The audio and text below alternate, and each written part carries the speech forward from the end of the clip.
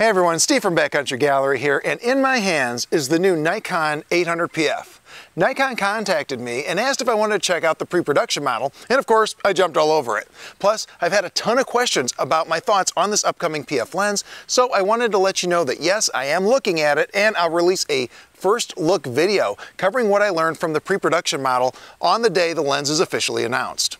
In that video, we'll cover things like size and weight and how it compares to other popular lenses. We'll also talk about things like weather sealing, how it handles in the field, which is, by the way, pretty good so far, how hand-holdable it is, how well balanced it is, how rugged it seems, the various controls, the price, if it's a good choice for wildlife work, which it sure seems to be, and lots more. Basically, lots of stuff that goes beyond just the specs. Also, I know you probably have a lot of questions about the lens, but I can't answer anything until it's released, so hold those thoughts.